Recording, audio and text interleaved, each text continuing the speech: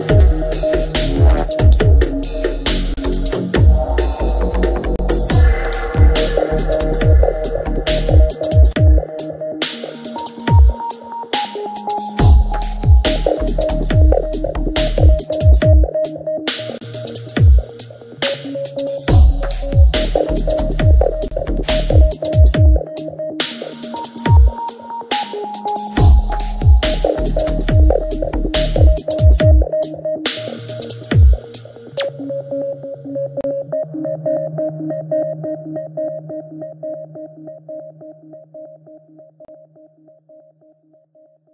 you.